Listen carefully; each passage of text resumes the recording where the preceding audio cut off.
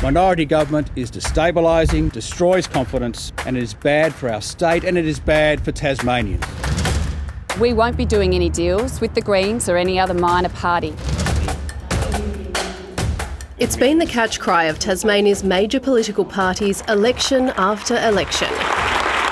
But is minority government something they just need to accept? Looking at the polls, if you trust them, of course, we're heading for a minority government.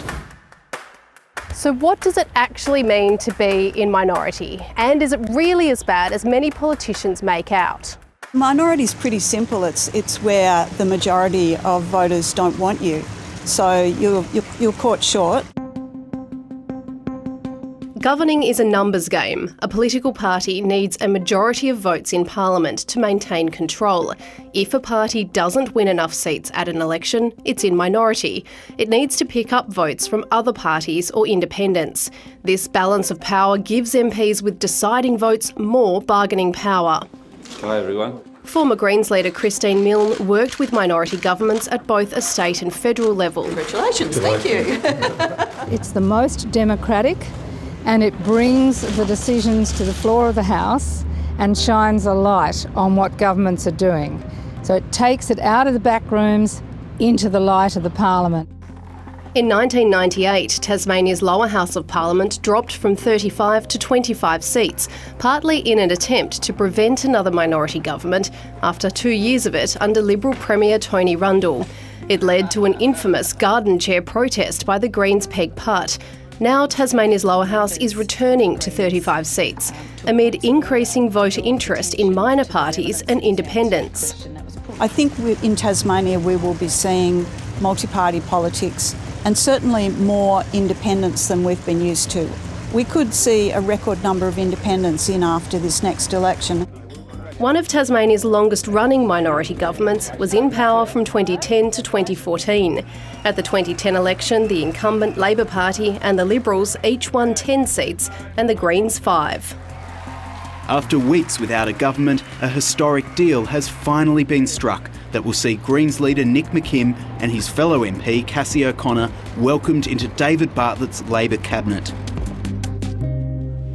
The coalition was modelled off a South Australian power sharing arrangement and lasted almost its full term, mostly under Premier Lara Giddings that enabled us to provide four years of stable government, which is what majority government provides you is stable government.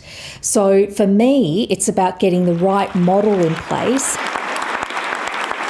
Labor's current leader didn't have such fond memories of the coalition at the party's election campaign launch three years ago. Labor will govern alone or not at all. It was a mistake to think that Labor could ever work with the Greens, and we will never make that mistake again. A position she's sticking to. I can categorically tell you the Labor Party will not be doing deals with the Greens to form government. We will not be doing deals with other parties to form government. Jeremy Rockliff called this election in an attempt to overcome the instability of his own minority government. He faced pressure and influence from Liberal defectors turned independents John Tucker and Lara Alexander.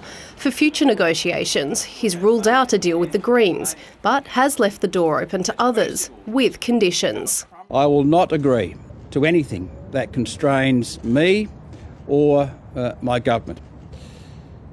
I will not be trading ministerial positions or policies.